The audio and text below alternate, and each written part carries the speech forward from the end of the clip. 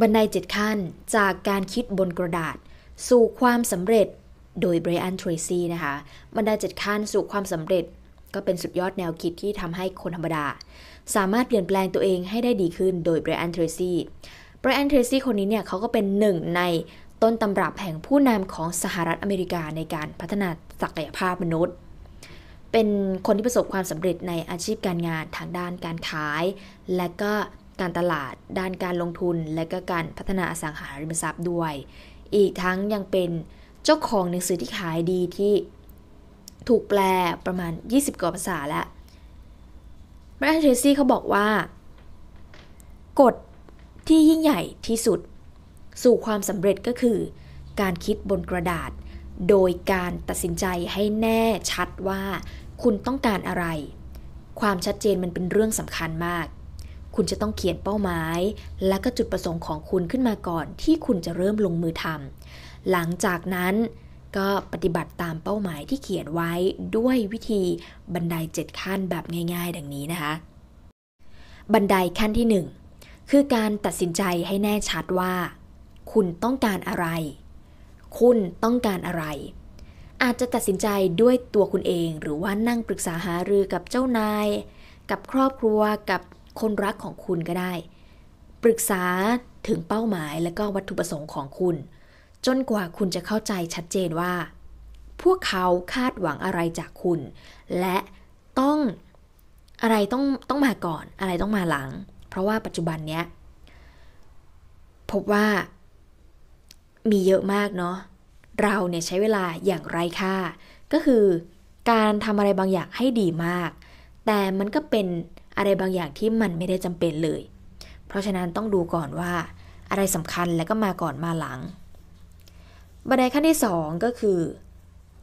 จดหรือว่าเขียนไว้บนกระดาษ เวลาที่คุณเขียนเป้าหมายของคุณเป็นลายลักษณ์อักษรเนี่ย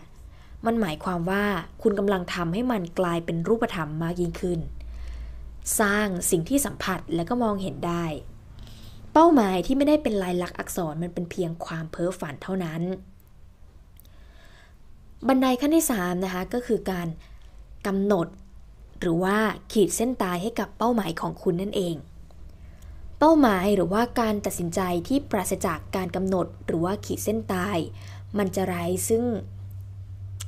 มันจะไม่มีความร้อนรนเนี่ยที่จะทำมันจะไม่อยากจะทำนะ เพราะว่ามันไม่มีเดทไลน์มันจะไม่มีจุดเริ่มต้นหรือว่าจุดจบที่แท้จริง เราก็อาจจะทำไปเรื่อยๆ แล้วอาจจะเกิดการผัดวันประกันพรุ่ง และสุดท้ายก็ทำงานได้น้อยมาก บันได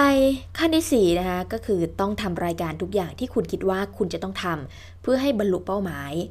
เมื่อคุณคิดถึงกิจกรรมใหม่ ๆ ก็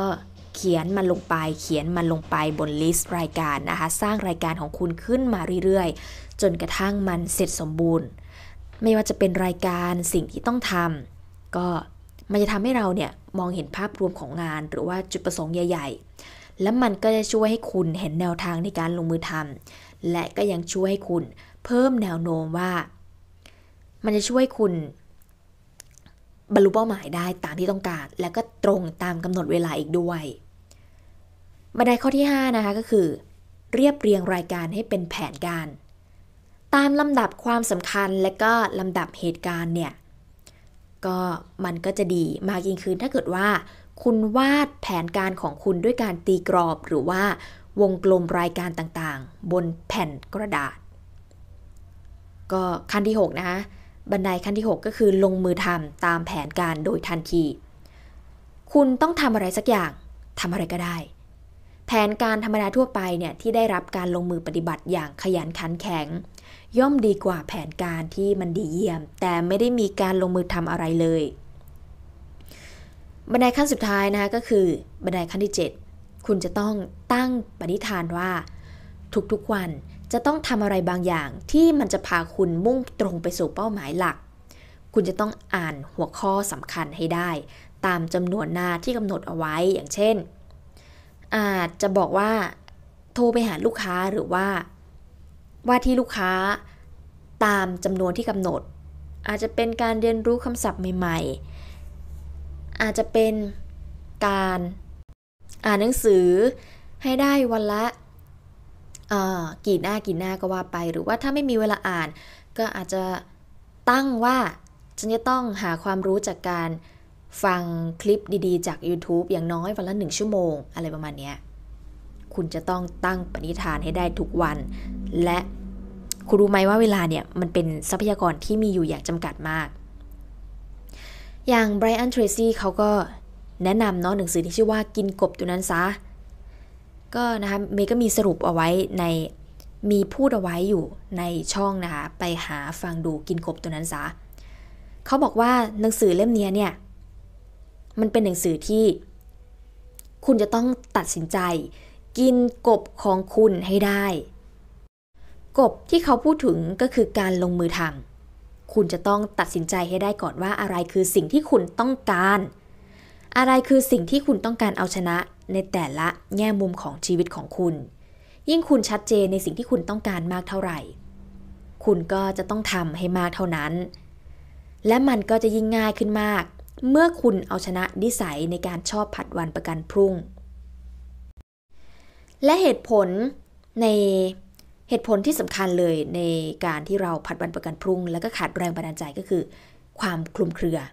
ความสับสนแล้วก็ความเลื่อนลอยอยู่ไปเรื่อยๆมือลอยเลื่อนลอยเรื่อยๆ ไม่มีอะไรเป็นจุดหมายปลายทาง ไม่มีอะไรเป็นแบบว่า ฉันจะต้องได้มาซึ่งสิ่งนั้นสิ่งนี้นะทำไปเรื่อยๆ อย่าเป็นแบบนั้น เพราะว่าเวลามันเป็นทรัพยากรที่มีอยู่อย่างจำกัดหนึ่งวันเนี่ยเรามี 24 ชั่วโมงเท่ากัน 24 ชั่วโมงเท่ากัน มันอยู่ที่ว่าใครรู้จักจัดสรรเวลาที่มีอยู่อย่างจำกัดยังไงนะใครที่อยากรู้เพิ่มเติมลองไปดูนะคะในช่องเมย์นี่แหละ